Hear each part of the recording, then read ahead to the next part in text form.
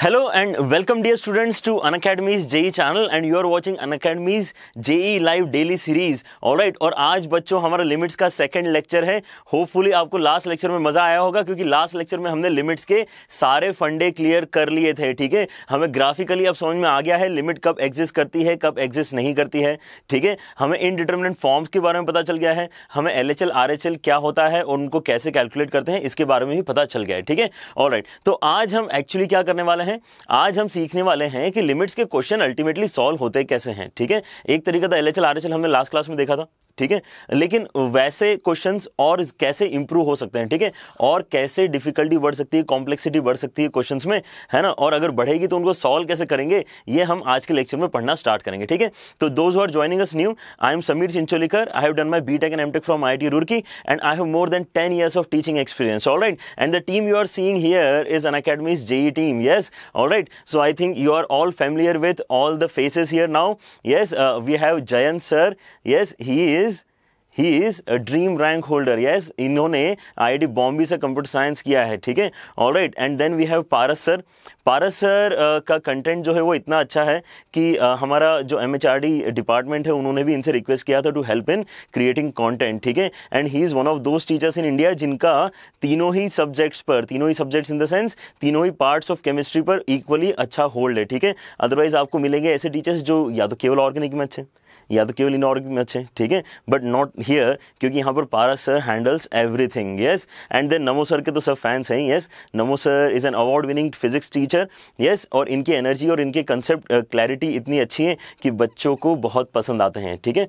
और राइट तो बस मैं अपने बारे में थोड़ा बता देता हूँ। I am Sameer Chincholikar and I also train aspiring JEE teachers all right so there is a solid team right in front of you और आप यहाँ पर पढ़ के डेफिनेटली काफ़ी बेनिफिट करेंगे अपनी जेई e की प्रिपरेशन में। ऑल राइट बच्चों तो लास्ट लेक्चर हमारा हो चुका है लिमिट्स पर। आज लेक्चर नंबर टू है। आज लेक्चर नंबर टू है लिमिट्स का। संडे है, लेकिन आप सब लोग यहाँ पर हो, मुझे ये देख के बहुत अच्छा लग रहा है, ठीक है? ऑल राइट और मंडे को बच्चों क्या स्टार्ट होने वाला है? मंडे को इलेवंथ में ट्रिग्नोमेट्रिक इक्वेशंस खत्म होगा, उसके बाद में इलेवंथ क्लास का क्वाड्रेटिक इक्वेशंस पोर्शन स्टार्ट होने वाला ठीक है?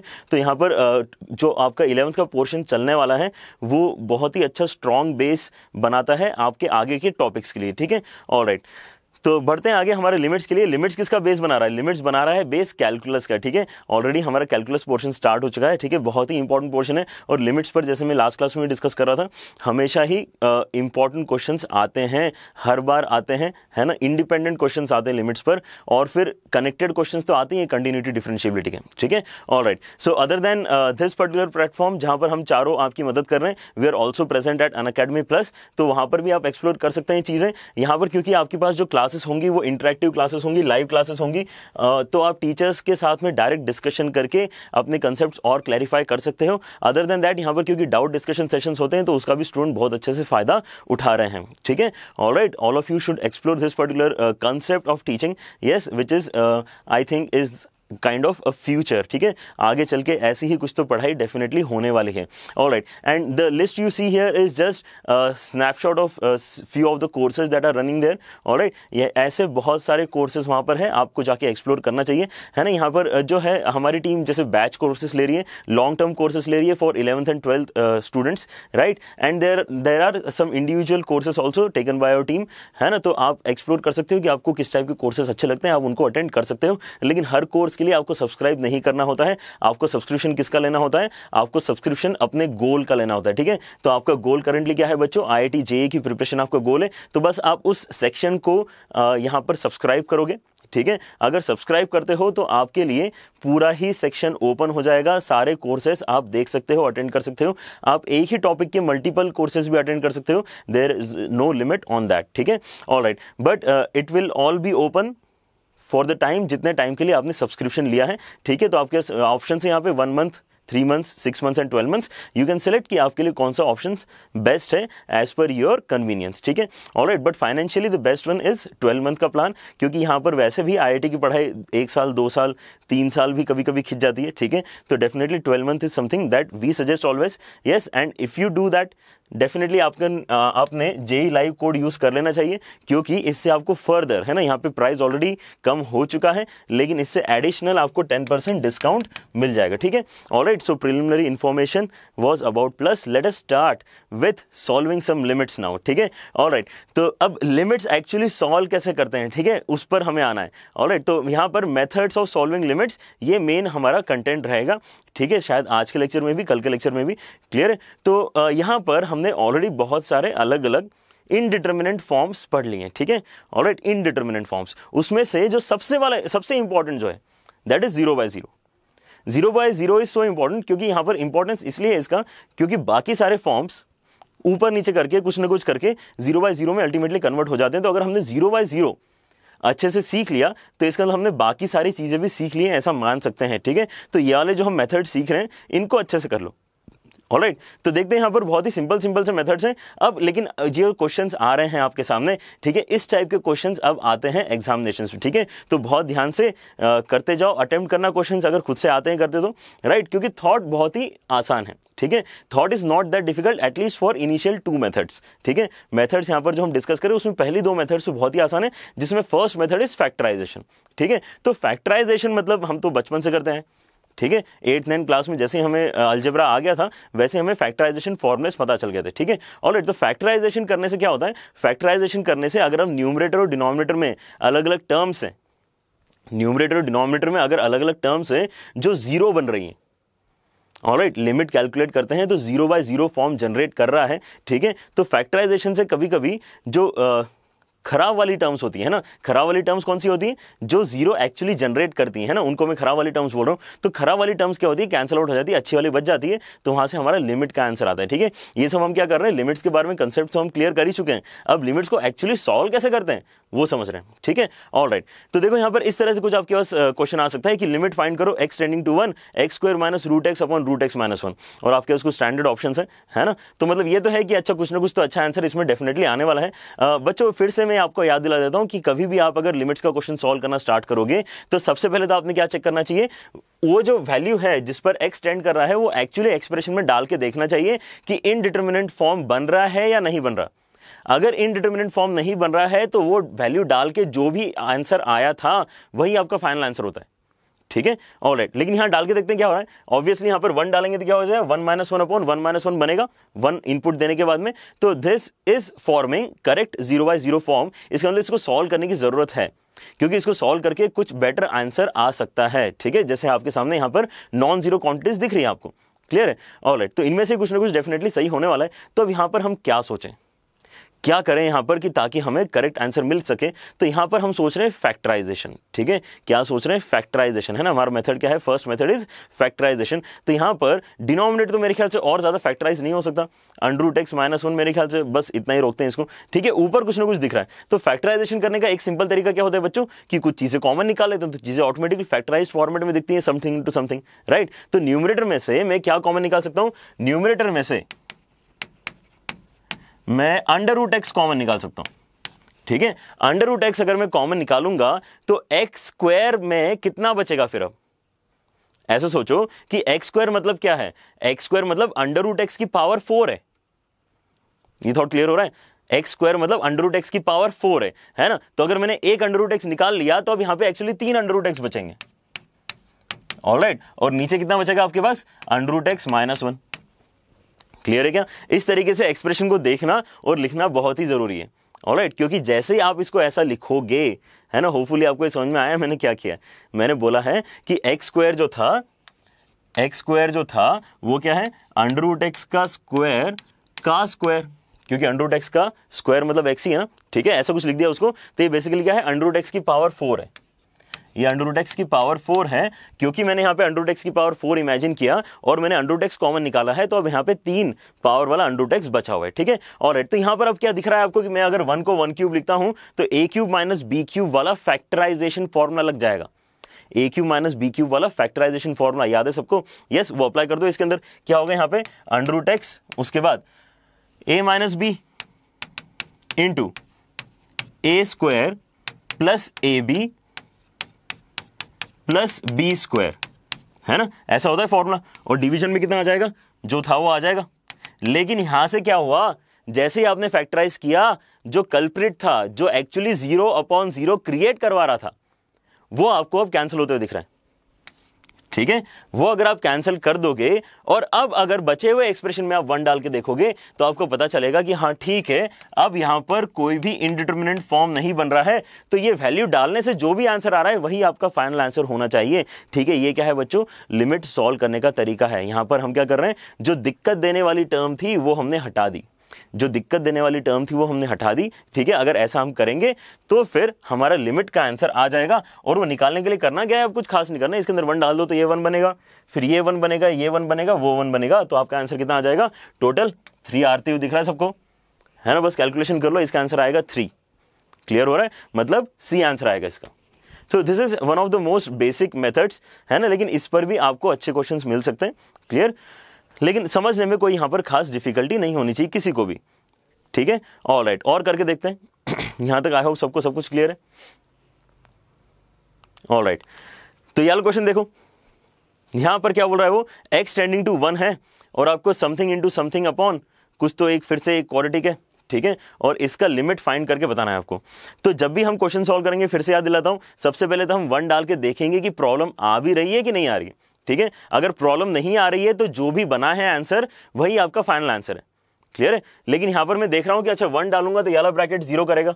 मतलब याले क्वेश्चन में तो कल्प्रिट पहले से दिख रहा है मुझे। जो न्यूमरेटर में ज़ीरो बनाने वाली टर्म है, वो क्या है? अंडर एक्स माइनस वन ठीक है? तो ये जो साथ में लिखा हुआ है that is x plus one x plus one में अगर मैं वन डालता हूँ तो टू बनेगा। तो टू तो अच्छा नंबर है ना? तो टू तो बन रहा होता तो मुझे क्या दिक्कत होती? क्लियर है? ऑलराइट इसका मतलब मुझे कल्प्रिट पता चल गया है। अच्छा मुझे अंडर टेक्स माइनस वन को इसका मतलब कैंसिल करना है ऊपर नीचे से। ठीक है? तो नीचे भी इसका मतलब कुछ दिक्कत आ रही होगी। नीचे अगर मैं वन डालता हूँ तो क्या होता है? वन डालने से यहाँ पर थ्री माइनस थ्री बनेगा। Yes two plus one minus three मतलब ये ज़ीरो बन रहा है। ऑलराइट तो ये बच्चों, आपने जो किया यहाँ पे सब्सिट्यूट करके देखा कि ये जो एक पॉलिनोमियल है, नीचे डिनोमिनेटर को देखो। डिनोमिनेटर जो है वो पॉलिनोमियल है, उसके अंदर आपने वन डाला तो ज़ीरो हो गया। मतलब वो पॉलिनोमियल का रूट है x equal to one yes इसका मतलब x माइनस वन उसका फैक्टर पक्के से होगा।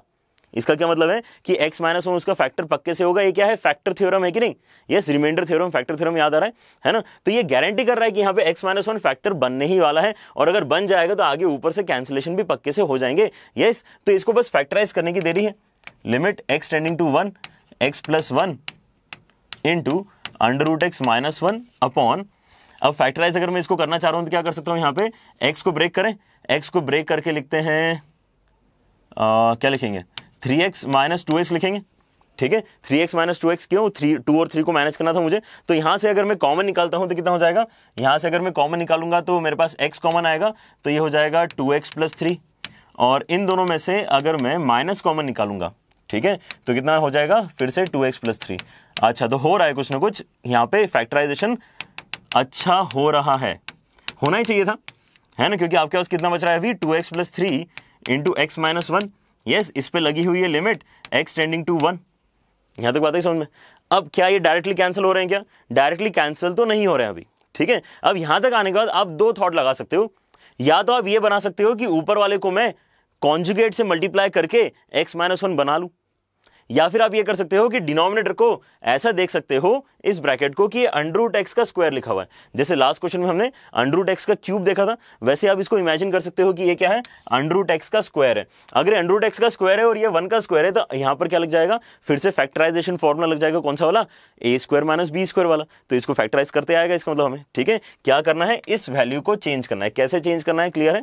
इसको अंडरूट एक्स का स्क्वायर लिखना है, ठीक है? तो यहाँ पर देखो क्या होने वाला है। Limit x tending to one x plus one into under x minus one upon two x plus three into under x minus one into under x plus one ऐसा हो जाएगा, ऐसा फैक्टराइज हो गया। तो क्या क्या कैंसिल हो रहा है यहाँ से? जो कल्प्रिट था वो कैंसिल हो गया। जो ब्रैकेट एक्चुअली ज़ीरो बना रहा था, वो कैंसिल हो गया। तो इसका मतलब नेक्स्ट स्टेप में आपका आंसर आने वाला है तो यहाँ पे वन डाल दो। राइट लिमिट सॉल्व करना, ऐसे देखा जाए तो काफ़ी सिंपल स्टेप है। यहाँ पर अगर मैं वन डालूँगा तो कितना हो जाएगा? ऊपर बनेगा टू नीचे बनेगा यहाँ पर फाइव और यहाँ पर बनेगा टू तो टू से टू कैंसिल हो जाएगा। आंसर आ गया वन बाई फाइव तो कौन सा आंसर आ रहा है इसका मतलब? वन बाई फाइव आ रहा है, लेकिन हमारे पास वन बाई फाइव है नहीं तो इसका आंसर क्या हो जाएगा? नन ऑफ़ दिस हो जाएगा। क्लियर है? बातें समझ में आ रही है? क्या है? सबसे सिंपल वाली मेथड है। इसमें और ज़्यादा मेरे ख्याल से प्रैक्टिस की ज़रूरत नहीं आपको आ ही गया होगा समझ में कि अच्छा ठीक है फैक्टराइज करना है फैक्टराइज करने हमें बचपन से आता है। बस ये आपको ध्यान देना है कि कल्परेट कैंसिल हो जाना चाहिए ऊपर नीचे से। अगर ऊपर नीचे से दिक्कत जो देने वाली टर्म है वो कैंसिल हो जाएगी तो आपका लिमिट का आंसर आ जाएगा अगली स्टेप में। ठीक है? ऑल राइट तो अब देखते हैं एक और मेथड वो भी इतनी ही आसान है, क्योंकि वो जो प्रोसेस है, वो फिर से आप बहुत पहले से सीख चुके हो। ठीक है? यहाँ पर जो एक्सप्रेशन है कैसे हैं? अल्जेब्रिक एक्सप्रेशन है रैशनल एक्सप्रेशन है। तो उनके अंदर हम ये काम करते आए हैं, ठीक है? जिसको बोलते हैं रैशनलाइजेशन रैशनलाइजेशन करने से भी चीज़ें सिंप्लीफाई होती हैं, ठीक है? ऑलराइट तो इस पर मेरे ख्याल से सबको आइडिया है। जैसे मैं इसके पहले वाले क्वेश्चन में भी सजेस्ट कर रहा था, यहाँ पर जो मैं कॉन्जुगेट से मल्टीप्लाई करने वाला स्टेप सजेस्ट कर रहा था, वो किसका हो गया होता? वो रैशनलाइजेशन का स्टेप हो गया होता। क्लियर तो वैसे कुछ हम यहाँ पर एक्चुअली सीखने वाले हैं, ठीक है? तो क्वेश्चन के थ्रू ही सीखते हैं, क्योंकि रैशनलाइजेशन तो आपको आता ही पहले से। ठीक है? ऑल राइट तो ऐसा कुछ यहाँ पर एक्सप्रेशन दिया हुआ है x cube upon one plus x cube का under root minus under root of one minus x cube तो यहाँ पर ऑब्वियस है क्योंकि डिनोमिनेटर में आपके पास अंडर रूट के क्वांटिटीज है तो हमें आदत है क्या करने की? इसके कॉन्जुगेट से ऊपर नीचे मल्टीप्लाई करने की हमें आदत है। ठीक है? लेकिन इतने जल्दी नहीं स्टार्ट करेंगे, पहले हम चेक करेंगे ज़ीरो डाल के कि क्या वाकई इनडिटर्मिनेंट फॉर्म बन रहा है या नहीं। ठीक है? अदरवाइज़ मेहनत करने की ज़रूरत ही नहीं है। यहाँ पे ज़ीरो डालने से अगर दिक्कत नहीं आ रही तो फिर वही हमारा आंसर हो जाएगा। लेकिन अगर ज़ीरो डालते हो तो फिर न्यूमिनेटर में तो ज़ीरो बनते हुए दिख रहा है। और डिनोमिनेटर में भी अगर एक्स इक्वल टू ज़ीरो डालोगे तो under root of one minus under root of one बनेगा विच इज़ अगेन ज़ीरो ठीक है? तो यहाँ ज़ीरो बाय ज़ीरो फॉर्मेट है, इसलिए हमें सॉल्व करने की आगे मेहनत करना चाहिए। अगर नहीं होता, कुछ और आ रहा होता कॉन्स्टेंट अपॉन ज़ीरो आ रहा होता ज़ीरो अपॉन कॉन्स्टेंट आ रहा होता तो उस केस में तो वही मेरे आंसर्स हो गए होते। क्लियर है? ऑल राइट तो यहाँ पर क्या करेंगे बच्चों? जो बोल रहा है वो कर देंगे। क्या बोल रहा है यहाँ पे? क्या सिखाना चाह रहा है? कि रैशनलाइजेशन से चीज़ें सिंप्लीफाई होती हैं। ठीक है? ऑल राइट तो यहाँ पर मैं इसके कॉन्जुगेट से मतलब यहाँ पे माइनस है ना तो इसके प्लस से मल्टीप्लाई करूँगा तो कितना हो जाएगा? Under root of one plus x cube plus under root of one minus x cube और डिनोमीटर भी, भी बिल्कुल सेम चीज़ आएगी one plus x cube minus under root of one minus x cube तो अब अगर डिनोमीटर में देखोगे न्यूमिनेटर वाले ब्रैकेट को तो ज़्यादा सिंप्लीफाई करने की यहाँ पे ज़रूरत है नहीं। ठीक है? ऑल राइट इसको और थोड़ा बेटर कर लेते हैं। थ्री दिख रहा है सबको? है ना? जो यहाँ था, वही वहाँ लिखा हुआ है। अगर मैं डिनोमिनेटर को फर्दर मल्टीप्लाई करता हूँ तो यहाँ पर जिसके लिए किया था मल्टीप्लीकेशन वो काम देगा कि नहीं? ठीक है? यहाँ पर क्या होगा? ओ यहाँ पे प्लस आना चाहिए। है ना? जो ऊपर है, वही नीचे है। ऑल राइट तो यहाँ पर क्या होगा? A plus b into a minus b से आपका a square minus b square बनेगा तो अंडर हट जाएगा। तो one plus x cube minus one minus x cube, सभी को आंसर दिखने लग गया होगा अभी तक तो। जल्दी से ऑप्शन में लिखते जाओ। है ना? चैट में बताते जाओ मुझे। कि इसका आंसर क्या आना चाहिए ए बी सी डी में से। ठीक है? तो यहाँ पे मैं क्या देख सकता हूँ कि नीचे वन वन कैंसिल हो जाएगा, लेकिन माइनस होने की वजह से एक्स क्यूब एड अप हो जाएगा। एक्स क्यूब एडअप हो जाएगा और कितना हो जाएगा? टू एक्स क्यूब लेकिन न्यूमरेटर में एक्स क्यूब पहले से है। न्यूमरेटर में एक एक्स क्यूब पहले से है, ठीक है? तो x cube x cube cancel होंगे। देखते जाओ, यहाँ पे बना two x cube two x cube में से टू तो अलग निकाल लो, x cube x cube cancel हो गया। और अब अगर आगे वाले एक्सप्रेशन में आप ज़ीरो डाल भी देते हो तो क्या दिक्कत है? ठीक है? इसका मतलब क्या है? आगे वाले एक्सप्रेशन में डालने से अगर दिक्कत नहीं हो रही है, ज़ीरो डालने से, कितना बन रही है ज़ीरो डालने से इस ब्रैकेट का वैल्यू टू बन रहा है। ठीक है? तो अगर मैं अब अगली स्टेप में एक्स क्यूब कैंसिल करने के बाद, नॉट राइट नाउ जो हमने ओरली कर लिया है एक्स क्यूब कैंसिल कर दिया है ठीक है? तो नीचे बस टू बचा है। तो जब ये कैंसिलेशन हो गया है उसके बाद अगर मैं एक्स इक्वल टू ज़ीरो डाल रहा हूँ तो कोई दिक्कत नहीं है और उसके वजह से बनेगा ऊपर टू और नीचे टू पहले से था इसलिए इसका आंसर आएगा वन यस और आई थिंक आपका आंसर ही पहले से आ गया होगा। यस yes, समझ में आ रही है बातें? अभी तक तो सिंपल चल रहा है सब कुछ पहले दो फॉर्मेट जो है वो तो बहुत ही सिंपल है। इसमें नया कुछ सीखने के लिए भी नहीं है। क्योंकि ये जो ऑपरेशन है फैक्टराइजेशन ऑपरेशन और रैशनल ऑपरेशन ये हम पहले से सीखते आए हैं और बहुत बार अप्लाई करते आए हैं, ठीक है? All right so let see ये वाले क्वेश्चन को करके देखते हैं। अभी थोड़ा सा इंटरेस्टिंग क्वेश्चन है। इसको देखो क्या है? यहाँ पर आप देखोगे कि वन प्लस एक्स स्क्वायर का क्यूब रूट है। One plus one sorry one minus हाँ वन प्लस एक्स स्क्वायर का क्यूब रूट है। अब इसको रैशनलाइज कैसे करेंगे? इसको रैशनलाइज कैसे करेंगे? बस ये अगर आपने ठीक से सोच लिया तो आपको आंसर भी निकालते आ जाएगा। क्लियर है? क्योंकि जहाँ तक मुझे लगता है, हमें रैशनलाइजेशन करने की आदत जो है, वो इस तरह के एक्सप्रेशन की ज़्यादा है, जहाँ पर हम केवल साइन चेंज करके वही एक्सप्रेशन लिख देते हैं। ठीक है? हमें क्या आदत है? अच्छा ये माइनस था ना तो प्लस कर दिया। ये हमें करने की बहुत अच्छे से आदत है and that is very good आपको ये आदत है। लेकिन इस क्वेश्चन में क्या करना चाहिए? अगर आपको डिनोमिनेटर में रैशनल टर्म्स चाहिए आपको रैशनलाइजेशन का मतलब पता है? डिनोमिनेटर में रैशनल टर्म्स क्रिएट करते आना चाहिए ठीक है? तो यहाँ पर आपने एक्चुअली क्या मल्टीप्लाई करना चाहिए ताकि यहाँ पर रैशनल टर्म्स बन जाए? क्लियर है? ऑल राइट तो यहाँ पर आपको फिर से कैसा सोचना चाहिए? जैसे हमने पहला क्वेश्चन किया था है ना? मैंने क्या लिखा था? अंडरू टेक्स की पावर फोर है फिर मैंने एक्स क्यूब कॉमन निकाल अंडरू टेक्स कॉमन निकाल लिया था तो अंडरू टेक्स का क्यूब बना था याद है सबको? अभी अभी तो किया? यस yes, यहाँ पर भी वैसा ही कुछ तो थॉट लगना चाहिए। क्लियर है? उसके लिए मैं ऐसा कुछ लिख के बताता हूँ आपको। कि क्या आप इस बात को मान रहे हो कि वन माइनस टी क्यूब, कितना होता है? One minus t cube, factorisation वाला फॉर्मूला जो हमने अभी यूज़ भी किया है आज के डेट में, ठीक है? One minus t into one plus t plus t square ऐसा होता है? यस ये हमारा फैक्टराइजेशन फॉर्मूला है। अगर मैं अब आपसे पूछूँ कि वन माइनस टी का क्या मतलब है? वन माइनस टी का क्या मतलब है? तो क्या मैं यहाँ पे ऐसा इमेजिन कर सकता हूँ कि अगर मैं वन माइनस टी के प्लेस में और वेरिएबल कुछ चेंज कर लेता हूँ, ऐसा करता हूँ, अगर आपको इसमें भी दिक्कत हो रही है तो राइट यहाँ पर मैं ऐसा करता हूँ वेरिएबल मेरा वन माइनस लेट से क्या लेना चाहिए? एक्स ले लूँ क्या? है ना? एक्स ले लेते हैं, चलो। अगर मैं वन माइनस एक्स लिखना चाह रहा हूँ, लेकिन ऊपर वाला फॉर्मेट मेंटेन करके रखना चाह रहा हूँ तो क्या मैं कर सकता हूँ? सोचो जरा ध्यान से यहाँ पे। वन माइनस एक्स ही रखना है मुझे। तो अगर मैं ऊपर वाला फॉर्मेट मेंटेन करना चाह रहा हूँ तो यहाँ तो क्यूब आना चाहिए ना। यस तो यहाँ क्यूब लाने के लिए मैं क्या सोचता हूँ कि इसका क्यूब रूट का क्यूब कर लेते हैं। क्या कर लेते हैं? क्यूब रूट का क्यूब कर लेते हैं। अगर मैं ऐसा करूँगा तो अब सब जगह बिल्कुल सब कुछ क्या डाल सकता हूँ मैं? टी का कंपेरिजन हो किससे गया? टी का कंपेरिजन एक्चुअली एक्स की पावर वन बाय थ्री से हो गया। टी का कंपेरिजन एक्स की पावर वन बाय थ्री से हो गया। ठीक है तो यहाँ पर क्या आएगा? वन माइनस एक्स की power one by three into one plus x की power one by three plus x की power two by three. Yes one by three का square is two by three ऐसा कुछ फॉर्मेट बन जाएगा। आई बात समझ में?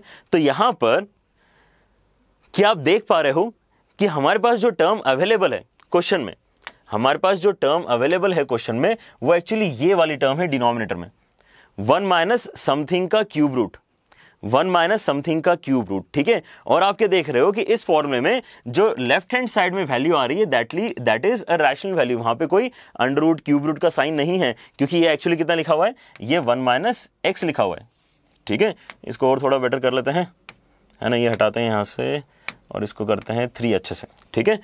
ऑल राइट आ रही बात समझ में ये किसका इक्विवेलेंट है? वन माइनस एक्स के इक्विवेलेंट है।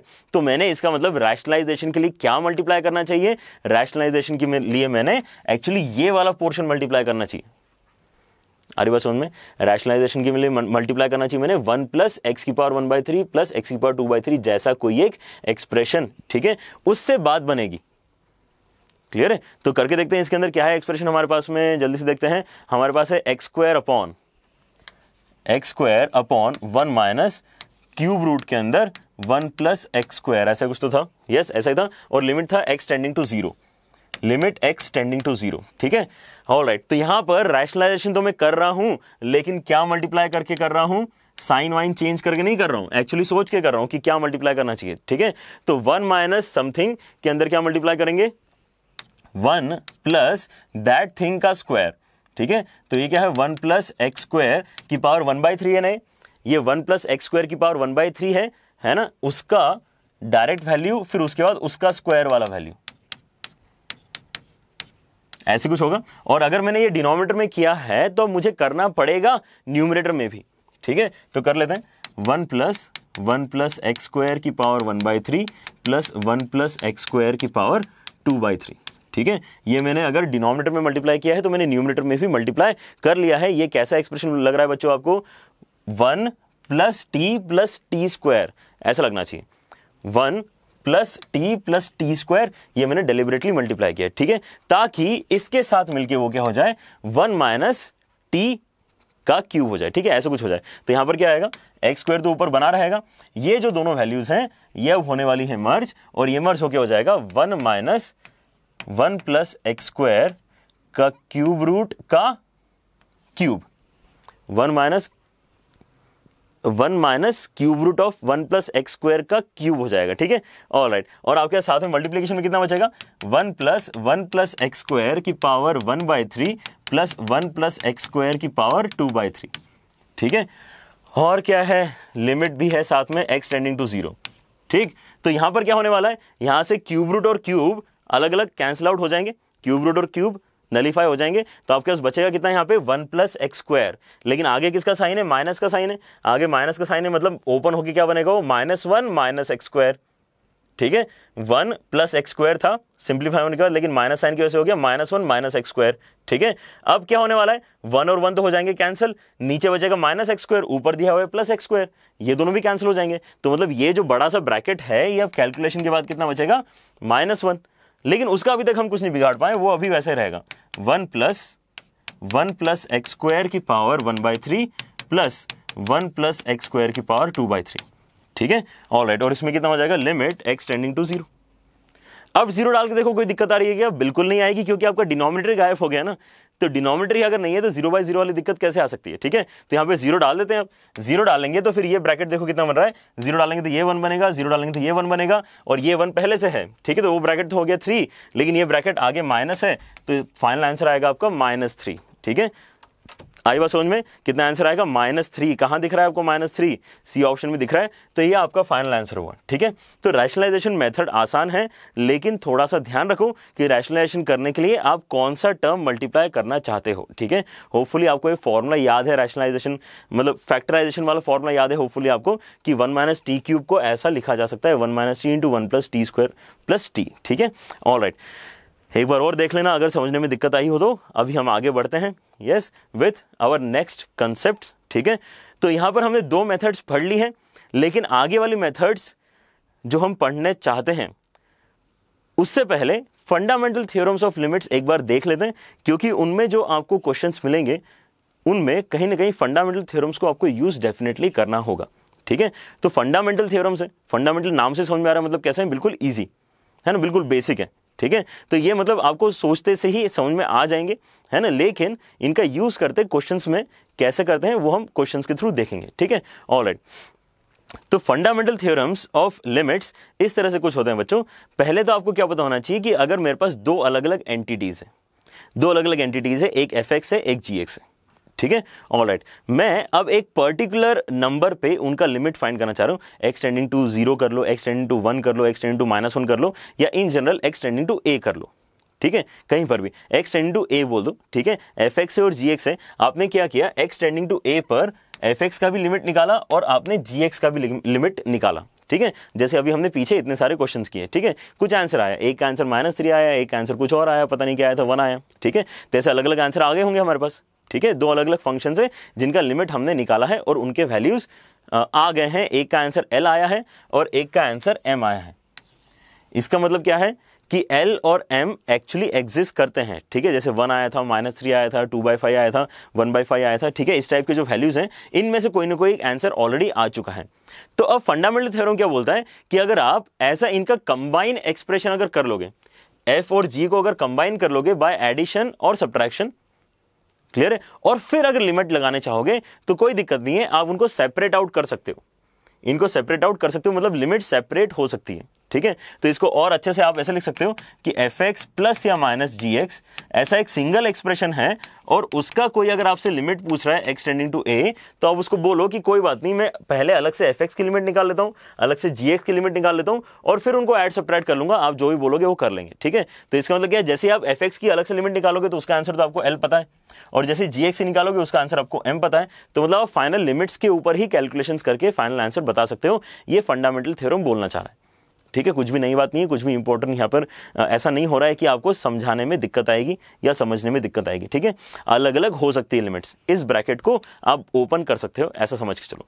और यहाँ पर जो हम प्लस माइनस के साथ कर सकते हैं, बिल्कुल वही काम हम मल्टीप्लीकेशन के साथ भी कर सकते हैं, ठीक है? अगर एफ़ इंटू जी है तो कोई दिक्कत नहीं है। आप अलग से एफ़ का लिमिट निकाल लो, अलग से जी का लिमिट निकाल लो और बाद में उनको मल्टीप्लाई कर लेना। इसका मतलब क्या है? एफ़ का लिमिट का आंसर तो ऑलरेडी हम जानते हैं एल है और जीएस का लिमिट का आंसर एम है तो आपका आंसर एल इंटू एम आ जाएगा। क्लियर किस किस के लिए लगता है ये? एडिशन के लिए भी लगता है सब्ट्रैक्शन के लिए भी लगता है, अब मल्टीप्लीकेशन के भी लग रहा है है ना? तो डिवीज़न बच गया बस तो उसके लिए भी लगता है। क्लियर है? तो अगर आपके पास दो अलग अलग फ़ंक्शन है एफ़ एक्स और जी एक्स और उनको डिवाइड करके आपको एक एक्सप्रेशन बना के दिया हुआ है क्लियर डिवाइड करके एक्सप्रेशन बना के दिया हुआ है। तो ये बोल सकते हो, कोई बात नहीं, मैं न्यूमिनेटर का एक्सप्रेशन का लिमिट अलग से निकालूँगा डिनोमिनेटर का अलग से निकालूँगा, और इसका मतलब मेरे पास एल अपॉन एम आंसर आ जाएगा। क्लियर है? लेकिन बस यहाँ पर इसको अलग से इसलिए ट्रीट कर रहे हैं, क्योंकि अगर आपके पास बाय चांस एम का वैल्यू ज़ीरो हुआ विच इज़ एक्सेप्टेबल है ना? किसी भी फ़ंक्शन का लिमिट का आंसर ज़ीरो तो आ ही सकता है ना? ऐसे थोड़ी कि नॉन ज़ीरो आंसर आएगा लिमिट का हमेशा। ज़ीरो आंसर आ ही सकता है। तो उस पर्टिकुलर केस में डेफिनेटली आप ये रूल लगा नहीं सकते हो। ठीक है? In every other case you can use that ठीक है?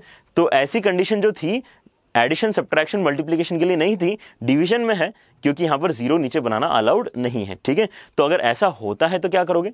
अगर ऐसा होता है तो ये क्लियरली ये बोलेगा कि अगर आपको something upon something numerator upon denominator calculate करने के लिए दिया है, और आपका डिनोमिनेटर का लिमिट अगर ज़ीरो आ रहा है तो आप इसको अलग अलग नहीं कर सकते। आप इसको ऐसा अलग अलग नहीं कर सकते। आपको वो जो कंबाइंड एक्सप्रेशन है, उसको ऐसे सिंगल एंटिटी मान के ही लिमिट कैलकुलेट करनी पड़ेगी। मतलब आपको ये जो एक्सप्रेशन है, इसको ही कैलकुलेट करने के बारे में सोचना होगा। कुछ अलग मेथड से सेपरेट करना उस केस में अलाउड नहीं है। ठीक है? ये फंडामेंटल लिमिट बता रही है। ठीक है? ऑल राइट और क्या कर सकते हैं ऑपरेशन ज़्यादा कुछ अब बचे नहीं हमारे पास। है ना? जो मेजर हमें पता होते हैं एडिशन सब्ट्रैक्शन मल्टीप्लिकेशन डिवीज़न सारे कवर हो चुके हैं। तो अब दूसरा इस तरह से सोचो। ये खैर जो है, ये तो आपको मेरे ख्याल से वैसे भी समझ में आ रहा होगा क्योंकि एडिशन का ही स्पेशल केस है। ठीक है? अगर यहाँ पर ऐसा सोचो कि f x plus g x नहीं होके f x plus f x होता। अगर f x plus f x लिखा होता मैंने पहले प्रॉपर्टी में, ठीक है? तो f x plus f x यहाँ पर कैसा दिख रहा होता? टू एफ़ एक्स और यहाँ पे क्या दिखता है? एफ़ एक्स और एफ़ एक्स का लिमिट मतलब टू एल तो ऐसा लगता है कि लिमिट ट्वाइस हो गई। ठीक है?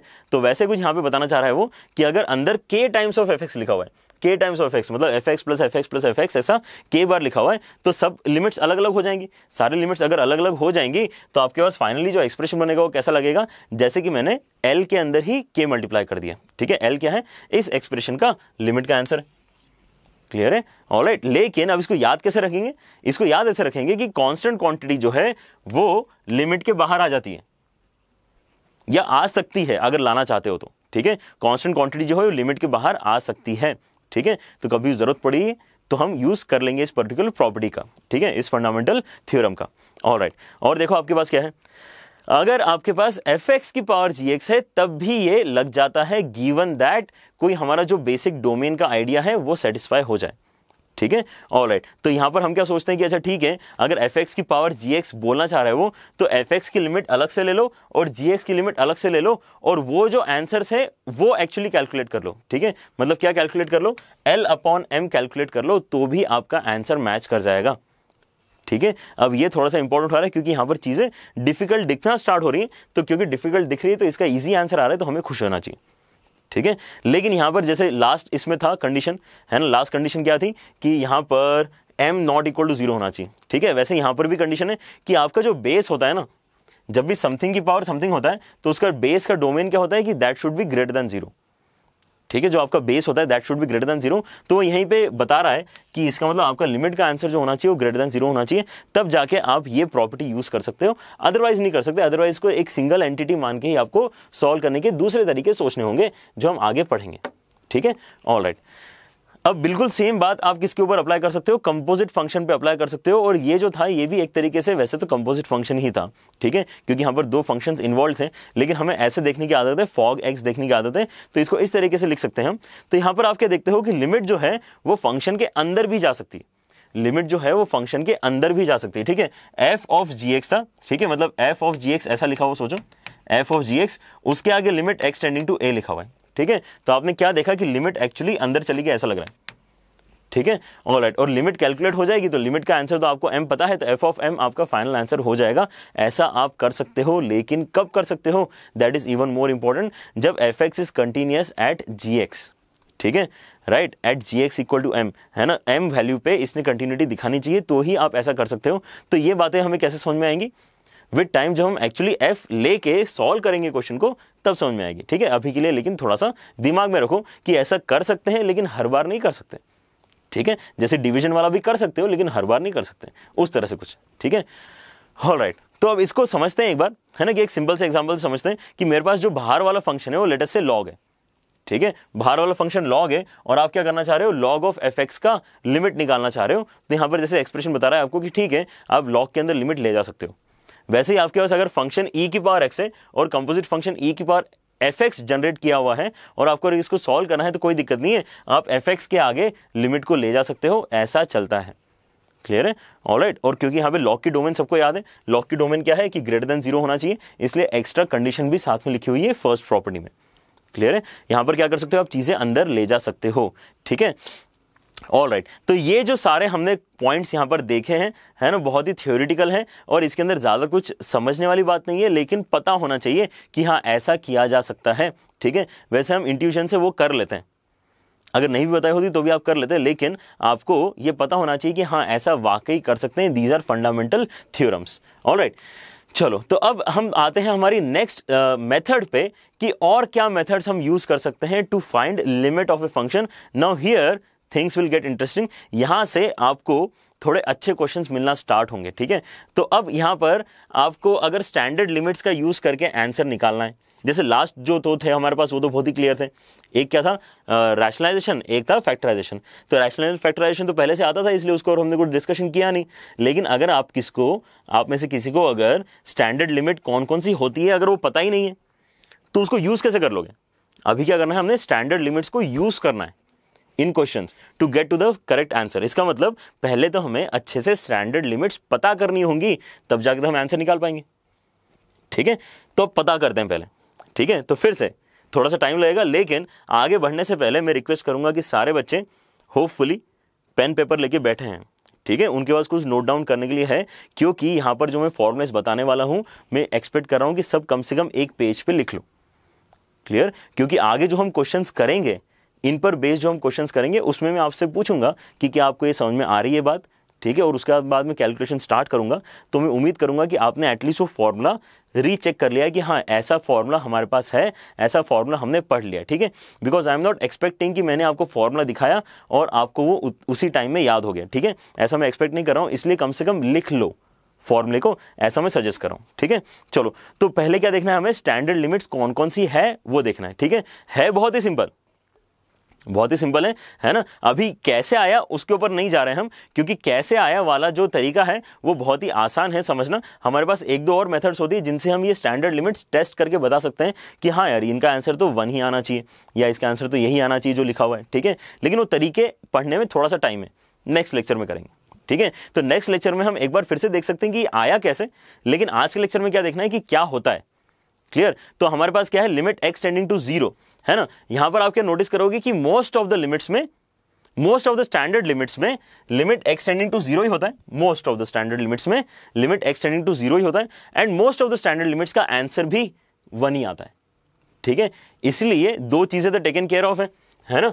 कि यहाँ पर तो limit mostly x tend to zero ही होता है और आंसर मोस्टली एक्स आंसर का लिमिट का आंसर वन ही आता है। तो याद रखना क्या है? बस आपको एक्सप्रेशन क्या है जिसका हम एक्सप्रेशन जो है, जिसको याद रखना है, वो बस आपको यहाँ पे ध्यान से देखते जाना है। ठीक है? तो साइन एक्स अपॉन एक्स अगर इसको कैलकुलेट करोगे तो ज़ीरो बाय ज़ीरो आता है कि नहीं?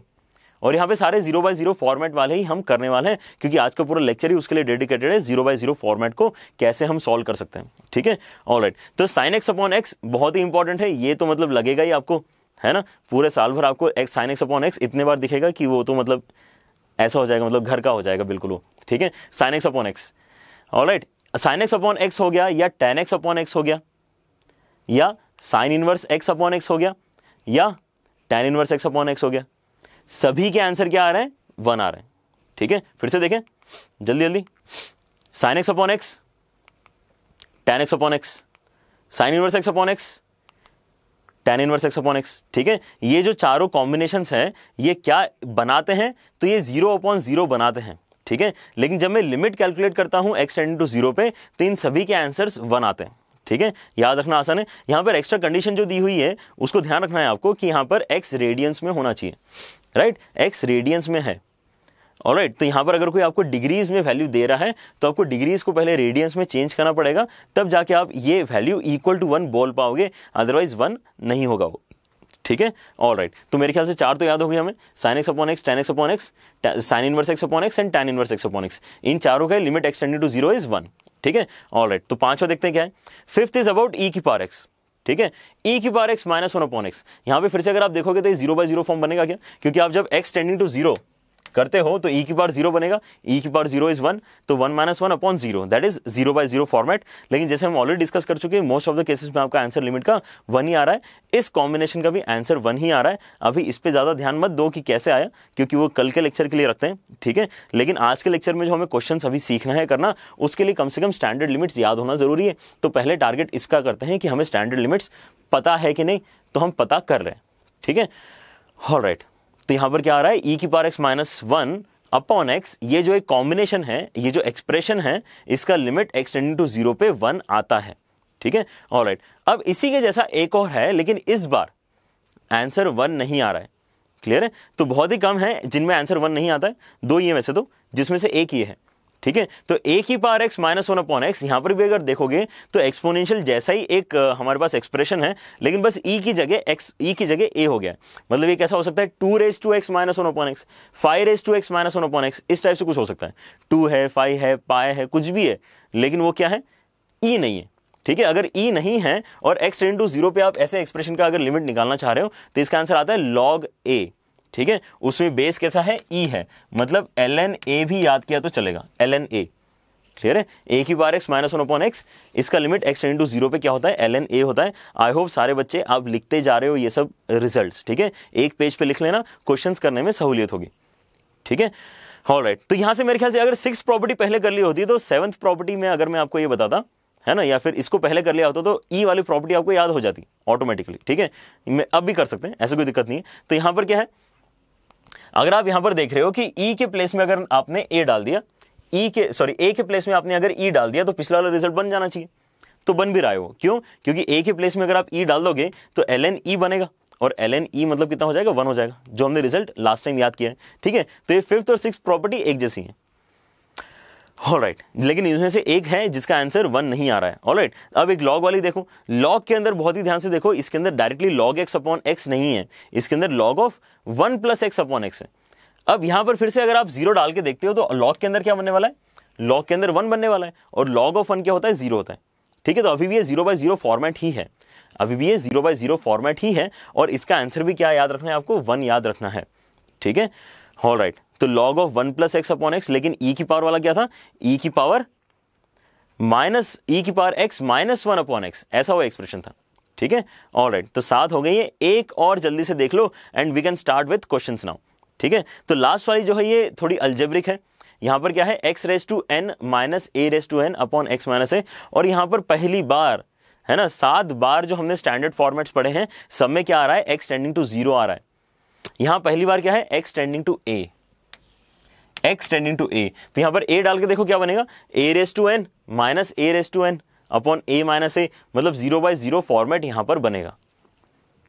ठीक है? ज़ीरो बाई ज़ीरो फॉर्मेट यहाँ पर बनेगा। तो यहाँ पर आप क्या देख सकते हो? इसको भी प्रूव करने के लिए आप बायनोमिल वगैरह तरीके यूज़ कर सकते हो, है ना? लेकिन ज़्यादा अच्छा होगा कि हम एक और तरीका सीख लेंगे, जिसकी मदद से ये सारे ही आठ रिज़ल्ट आप एक एक सिंगल सिंगल स्टेप में बता पाओगे, ठीक है? लेकिन अभी के लिए बस इनको याद कर लो। यहाँ पर क्या है? Limit x tending to a x raise to n minus a raise to n upon x minus a अब ये दूसरा रिज़ल्ट है, जिसके अंदर हमारे पास डायरेक्टली वन आंसर नहीं आ रहा है। कितना आंसर आ रहा है? N into a raise to n minus one n into a raise to n minus one ये एक्सप्रेशन अगर किसी को बड़ा लग रहा है तो इसको सिंपली याद रखने का तरीका बच्चों क्या है? कि यहाँ पर ऐसा सोचो कि आपने एक्स रेस टू एन का डिफ्रेंसिएशन कर दिया।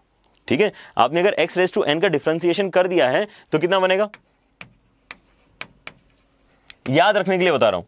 अगर आपने एक्स रेस टू एन का डिफ्रेंसिएशन कर दिया है तो बनेगा n into x raise to n minus one और अब क्या करो, इस डिफ्रेंसिएटेड डिफ्रेंशिएटेड एक्सप्रेशन में एक्स की जगह ए डाल दो। ठीक है? तो आपके पास आपका आंसर बनते हुए दिखेगा। तो एक्चुअली प्रूव करने का भी तरीका ऐसा ही कुछ है डिफ्रेंसिएशन के थ्रू जो आता है, ठीक है? जो चेक कर सकते हो आप कि हाँ डेफिनेटली हाँ। अगर वो मेथड सही है तो फिर इनके भी सारे आंसर सही है, ऐसा हम वेरीफाई कर लेंगे। लेकिन ये यहाँ पर इसलिए बता रहा हूँ क्योंकि ये पहली बार एक्सप्रेशन ऐसा है जो याद करने में कुछ हेल्प आपकी करनी पड़ेगी तो मैंने हेल्प कर दी कि इसको क्या करो डिफ्रेंशिएट कर दो एक्स रेस टू एन को, और जो एक्सप्रेशन बनेगा, उसके अंदर एक्स के प्लेस में ए डाल दो। ठीक है? तो आई होप आपने सारे आठ यहाँ पर लिमिट्स लिख लिए हैं। यस तो स्टार्ट करते हैं हमारे क्वेश्चंस के साथ में, ठीक है? हाँ ऑल राइट लेकिन हाँ क्वेश्चंस के साथ स्टार्ट करने के पहले मुझे पता होना चाहिए कि इन स्टैंडर्ड लिमिट्स को मैं क्वेश्चंस में यूज़ कैसे करूँगा। क्योंकि ऐसा कोई क्वेश्चन डायरेक्टली थोड़ी पूछेगा आपसे कि बस इसका आंसर बताओ, है ना? बस एक ही जगह किसी ने फाइव कर दिया, एक ही जगह किसी ने थ्री कर दिया, ऐसा तो कोई क्वेश्चन बनाएगा नहीं, ठीक है? तो कुछ ना कुछ तो कॉम्प्लिकेशन आएँगे क्वेश्चन में तो आपको क्या बताना चाहिए कि इन स्टैंडर्ड लिमिट्स को यूज़ कैसे करते हैं? इन स्टैंडर्ड लिमिट्स को यूज़ कैसे करते हैं? क्वेश्चन में, ठीक है? तो यहाँ पर एक एग्ज़ाम्पल के थ्रू समझाता हूँ मैं। एक ही एग्ज़ाम्पल में आपको बाकी सारी बातें भी समझ में आ जाएँगी ऑटोमेटिकली ठीक है? तो एक एग्जांपल में ऐसा समझो कि अगर मैं बोल रहा हूँ आपसे limit x tending to zero sine x upon x तो ये तो अभी हमने देखा ना वन होता है। चेक कर लो अपने फॉर्मुला लिस्ट में, कितना होता है? Sine x upon x x tending to zero पे वन होता है। तो अगर मैं इस पर्टिकुलर एक्सप्रेशन में जहाँ जहाँ एक्स लिखा है वहाँ वहाँ अगर एफ़ एक्स कर दूँ तो भी कोई दिक्कत नहीं आएगी। ठीक है? क्या बोल रहे हैं हम? अगर जहाँ जहाँ एक्स लिखा है, उसके प्लेस में मैं एफ़ एक्स कर दूँ। एफ़ एक्स क्या है? कोई तो फ़ंक्शन है, मुझे नहीं पता अभी क्या है। Currently I don't know what f x is लेकिन मैं हर जगह एफ़ एक्स कर रहा हूँ, इसलिए चलेगा। अब हर जगह में एक्चुअली एक्स ऊपर देखो कितनी जगह एक्स एक्चुअली तीन जगह है। ठीक है? यहाँ तो है ही दो जगह, लेकिन यहाँ भी है। तो अगर मैं सब जगह चेंज करने की बात कर रहा हूँ तो मैं लिमिट के नीचे जो वैल्यू टेंडिंग है, वहाँ भी चेंज करने वाला हूँ। ठीक है? तो ये रिज़ल्ट चलेगा। ये रिज़ल्ट सही है, इस बात को ध्यान रखो, ठीक है? अगर limit x tending to zero sine x upon x one है तो limit f x tending to zero sine of f x upon f x भी वन होगा। Right right? और बाय चांस अगर आपके पास ऐसा कुछ है कि एक्स टेंडिंग टू ए पर एक्स टेंडिंग टू ए पर एफ़ एक्स जो है that becomes tending to zero आ रही बात समझ में, यहाँ पे हम क्या बोल रहे हैं? एक्स टेंडिंग टू ए पर f x actually tends to zero तो यहाँ पर अब फाइनली आप इस एक्सप्रेशन के प्लेस में याला एक्सप्रेशन रिप्लेस कर सकते हो। ठीक है? तो ऐसा दिख सकता है आपको, लिखा हुआ, कि limit x tending to zero limit x tending to a sine of f x upon f x और इसका आंसर आप वन बता सकते हो। ठीक है? इस बात को एक बार फिर से समझते हैं। मैंने पहले तो क्या बोला कि आपके पास अगर स्टैंडर्ड रिज़ल्ट है तो उसको यूज़ कैसे करना है, क्या सोचना है, कि आप सभी जगह अगर एफ़ एक्स रिप्लेस कर दोगे तो चलेगा। फिर हम क्या बोल रहे हैं कि अच्छा ठीक है, यहाँ तो मैंने एफ़ एक्स रहने दिया, लेकिन यहाँ पर यूजुअली एफ़ एक्स दिखता नहीं हमें। हमें क्या दिखता है? एक्स टेंडिंग टू समथिंग दिखता है। एक्स टेंडिंग टू समथिंग आपको दिखने वाला है, ठीक है? तो एक्स टेंडिंग टू समथिंग में एक्स टेंडिंग टू समथिंग में अगर आपने ये आइडेंटिफाई कर लिया कि एफ़ वाकई ज़ीरो को टेंड करता है तो ये क्वांटिटी इक्विवेलेंट एक दूसरे के। ठीक है? अगर आप f x tending to zero लिख रहे हो या फिर एक्स टेंडिंग टू ए लिख रहे हो, बात तो एक ही है। क्योंकि मेन क्या पर्पज है? कि यहाँ पर साइन के अंदर ज़ीरो बनना चाहिए और नीचे भी ज़ीरो बनना चाहिए। तो वो तो बन जाएगा ना। Right right? साइन के अंदर भी ज़ीरो बनना चाहिए और नीचे भी ज़ीरो बनना चाहिए। लेकिन वो दोनों एक्सप्रेशन एग्जैक्टली सेम होना चाहिए। एग्जैक्टली सेम होना चाहिए वो दोनों एक्सप्रेशन क्योंकि आप क्या देख रहे हो? यहाँ भी एफ़ लिखा हुआ है, यहाँ भी एफ़ लिखा हुआ है। ठीक है? ऑल राइट तो this is how we will use standard limits in questions ठीक है? इसके पहले कि हम एक्चुअल क्वेश्चन स्टार्ट करें, जल्दी से एक एग्जांपल के थ्रू समझ लो कि ये मैं क्या बात कर रहा हूँ यहाँ पे, ठीक है? अगर कोई मुझसे पूछता है limit x tending to zero sine of two x upon x इससे सिंपल एग्ज़ाम्पल हो नहीं सकता, इसलिए हम यहाँ से स्टार्ट कर रहे हैं ठीक है? एक, अगर कोई मुझसे पूछ रहा है sine of two x upon x कितना आंसर आना चाहिए इसका तो मैं क्या सोचूँगा? कि अगर मैं साइन के अंदर वाली क्वांटिटी को देखूँ, ठीक है? अगर मैं साइन के अंदर वाली क्वांटिटी को देखूँ तो वो एक्स तो नहीं है। इसका मतलब ये स्टैंडर्ड लिमिट डायरेक्टली तो नहीं है। इसका मतलब ये मॉडिफाइड वर्जन है। तो मॉडिफाइड वर्जन कौन सा ये वाला। मतलब साइन के अंदर अभी जो लिखा हुआ है, वो क्या होना चाहिए? एफ़ एक्स होना चाहिए राइट तो मेरा एफ़ एक्स पता चल गया मुझे कितना है? एफ़ एक्स पता चल गया मुझे टू एक्स है। अब अगर एफ़ एक्स टू एक्स है तो मैंने क्या बोला था? कि ऊपर जो दिख रहा है एफ़ एक्स एग्जैक्टली वही एफ़ एक्स नीचे भी होना चाहिए। एग्जैक्टली exactly वही एफएक्स नीचे भी होना चाहिए। तो इसीलिए वही एफएक्स बनाने के लिए मैं क्या करूँगा, अभी यहाँ पे टू से डिवाइड करूँगा और टू से एक्सप्रेशन को मल्टीप्लाई भी करूँगा। ठीक है? दिस स्टेप इज़ इंपॉर्टेंट ठीक है? Now let us look at this particular expression कि यहाँ पर मैंने बोला था कि f x tending to zero होना चाहिए। फिर हमने बोला था, ठीक है, कोई बात नहीं, आपने एक्स टेंडिंग टू ए अगर अच्छा वाला सिलेक्ट कर लिया जहाँ पे एफ़ एक्स वाकई ज़ीरो बन रहा है तो चलता है। तो यहाँ पर देखो, यहाँ पर एफ़ एक्स नहीं लिखा है। यहाँ पे क्या लिखा है? एक्स टेंडिंग टू ज़ीरो लिखा, जबकि मेरा एफ़ एक्स क्या है? टू एक्स है। लेकिन जब एक्स टेंडिंग टू ज़ीरो है, तब क्या टू एक्स भी टेंडिंग टू ज़ीरो हो गया क्या? बिल्कुल होगा।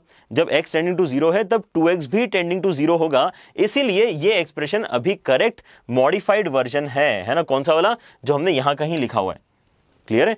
तो अब ये जो एक्सप्रेशन आपका बचा है बच्चों, ये वाला जो एक्सप्रेशन है this will give you the standard value which is one ठीक है? तो ये वाली वैल्यू लिमिट कैलकुलेट करने के बाद अगर वन आ गई तो आपके पास आगे क्योंकि टू बचा हुआ है, इसलिए इस बार आपके लिमिट का आंसर एक्चुअली टू आएगा।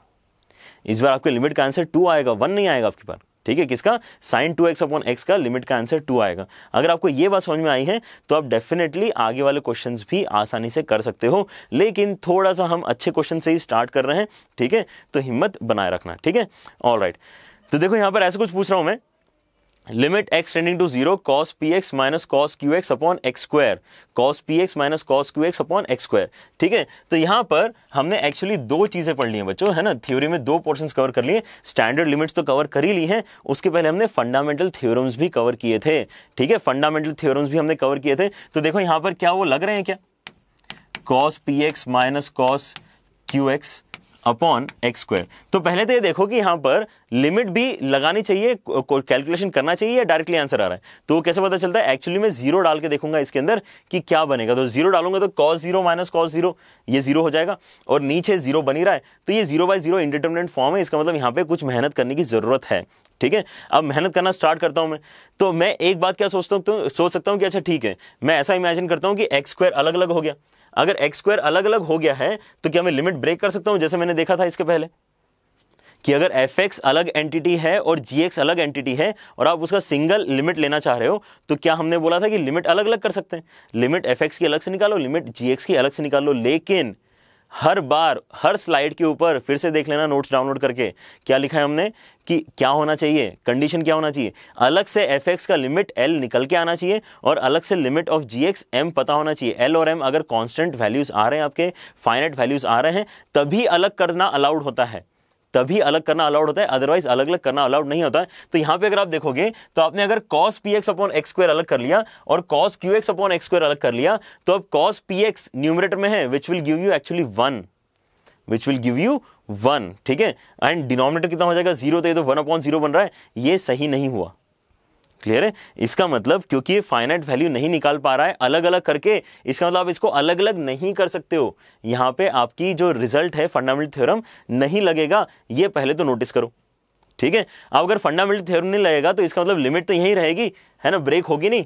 ऑल राइट लेकिन इनको अब मुझे मर्ज करके कुछ तो सॉल्व करना स्टार्ट करना है। ठीक है? तो हम क्या सोच सकते हैं यहाँ पे? कोई एक बात सोच पा रहे हैं, और तो कुछ मेरे ख्याल से थॉट आ नहीं रहा है इसके अंदर, कि मैं cos c minus cos d का फॉर्मूला लगा देता हूँ। Cos minus cos d cos minus cos d क्या होता है? Minus two times of sine c plus d by two sine c minus d by two ठीक है? तो माइनस के साथ में लिखना है minus two times of sine this plus that by two and cos of this minus that by two ठीक है? ऑलराइट और डिनोमिनेटर में कितना है आपके पास? एक्स स्क्वायर है, ठीक है? अब चीज़ें कहाँ चली गई हैं? चीज़ें मल्टीप्लीकेशन में चली गई हैं। ऑलराइट अगर ये मल्टीप्लीकेशन वाला कंसेप्ट आपको अगर अब सॉल्व करना है, ठीक है? तो यहाँ पर फिर से हम क्या सोचेंगे कि अब क्या मैं यूज़ कर सकता हूँ? अब क्या मैं फंडामेंटल थ्योरम्स यूज़ कर सकता हूँ क्या? तो अब अगर चेक करोगे तो हाँ अब फंडामेंटल थ्योरम यूज़ हो जाएँगे, ठीक है? हम क्या सोच रहे हैं कि नीचे एक्स स्क्वायर है ना? ऐसे करते हैं एक्स सेपरेट आउट कर लेते हैं। ऑलरेडी यहाँ पर मैंने कुछ फॉर्मूला गड़बड़ लिख दिया है। इसको सही कर देता हूँ पहले तो। है ना? क्या बोलना चाहिए था मैंने? दोनों साइन बोलना चाहिए था ना? यस यहाँ पे आना चाहिए था sine. Minus two sine. This plus that by two and sine of this minus that by two ठीक है? ऑल राइट तो यहाँ पर अगर मैं अलग अलग करूँगा तो क्या बनेगा? देखते हैं जरा एक एक्सप्रेशन यहाँ लिख के। हमारे पास बनेगा limit x tending to zero minus two तो अलग से है ही। मेरे पास एक एक्सप्रेशन है साइन ऑफ़ यहाँ से इन दोनों में से अगर मैं एक्स कॉमन निकालूँगा तो कितना हो जाएगा? P plus q by two into x और आगे है साइन ऑफ़ इन दोनों में से भी x कॉमन निकालो तो कितना हो जाएगा? P minus q upon two into x ठीक है? डिनोमीटर में जो x है, वो मैं सेपरेट आउट कर रहा हूँ इन दोनों के साथ। ठीक है? इसको भी दे दिया अलग से और इसको भी दे दिया अलग से। क्लियर अब मैं इन दोनों को एक्चुअली अलग अलग कैलकुलेट कर सकता हूँ, है ना? अगले पेज पे चले जाते हैं, यहाँ पर हमें कुछ ज़्यादा अच्छे से लिखते नहीं आ रहा है, ठीक है? ऑल राइट लेकिन फिर से यहाँ पर मैं क्या बताना चाह रहा हूँ? जो हमने यहाँ सिंपल टू एक्स के साथ सीखा था ना बच्चों, वो यहाँ पर आपको variable p plus q by two के साथ अप्लाई कर देना है थॉट राइट? यहाँ पर क्या था? एक्स्ट्रा टू था अंदर। तो मैंने टू से डिवाइड और मल्टीप्लाई कर लिया था ताकि मेरे पास साइन के अंदर जो लिखी हुई क्वांटिटी है, वही नीचे एग्जैक्टली exactly दिख जाए।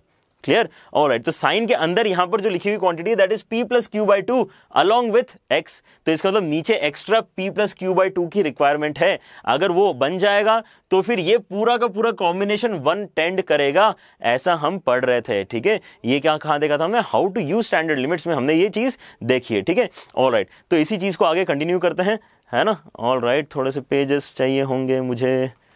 ऑल hmm, राइट थोड़ा सा फिर यहीं पे कंटिन्यू करने की कोशिश करते हैं। ब्लैक से कर लेते हैं, चलो। तो हमारे पास क्या आ जाएगा? माइनस टू तो है ही बच्चों, है ना हमारे पास? तो limit x tending to zero sine of p plus q by two into x upon p plus q by two into x ये मैंने एक्स्ट्रा बना लिया है। माइनस टू अलग से बाहर निकाल के रख लेते हैं, ठीक है? ऑल राइट मैंने क्या एक्स्ट्रा डिवाइड किया है?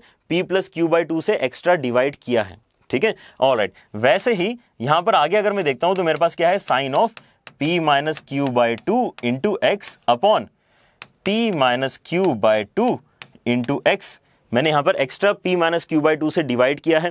तो अब ये दोनों मैंने चीज़ें एक्स्ट्रा डिवाइड करी हैं तो ये कहीं ना कहीं मल्टीप्लीकेशन में भी तो आनी चाहिए ना, ठीक है? तो अब इसके अंदर जो थर्ड टर्म आपके पास मल्टीप्लीकेशन में आनी चाहिए that is p plus q by two into p minus q by two ठीक है?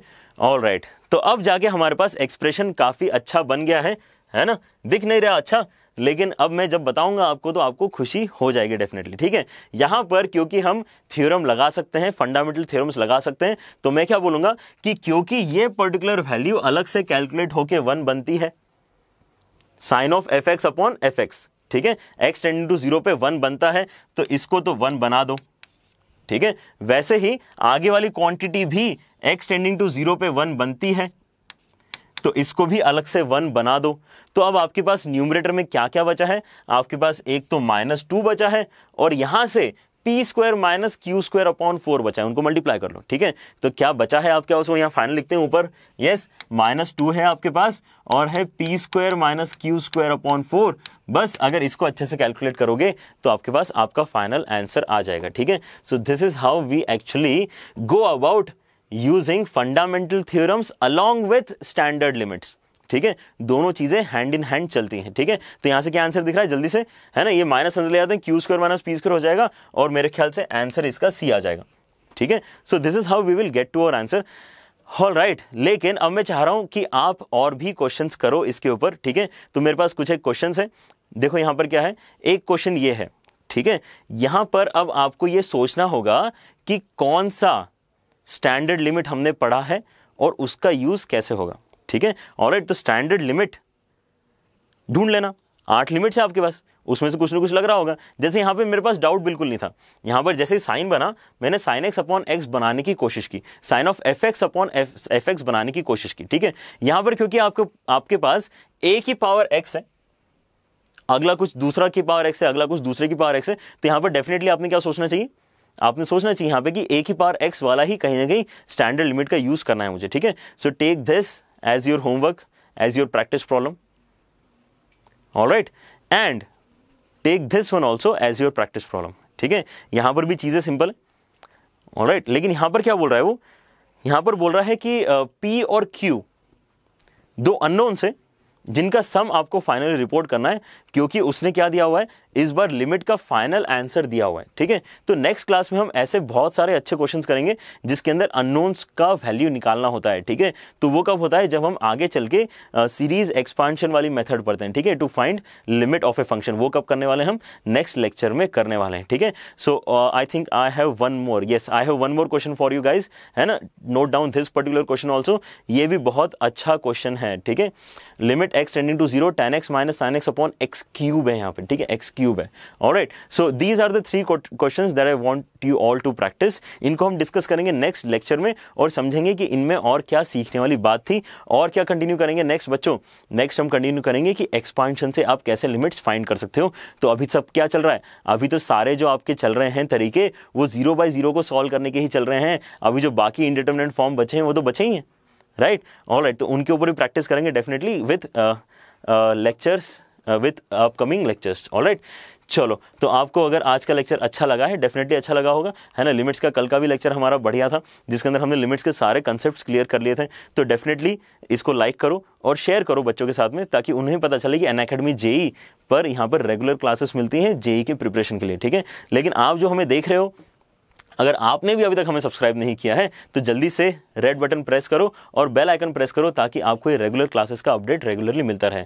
एंड जैसे मैं पहले भी बोल रहा था पीडीएफ जो है, वो डाउनलोड करने के लिए आपको मिलने वाली है, ठीक है डिस्क्रिप्शन में। तो डाउनलोड कर लेना स्टैंडर्ड लिमिट सारी एक पेज पे लिख लेना, है ना? जैसे हम ट्रिग्नोमेट्री में सजेस्ट करते हैं सभी बच्चों को, वैसे यहाँ भी मैं सजेस्ट कर रहा हूँ कि आप एक अलग से नोट्स बना लो लिमिट्स के इंपॉर्टेंट फॉर्मुलेस का इंपॉर्टेंट रिज़ल्ट का, ताकि आपको ढूँढने में अच्छा रहे।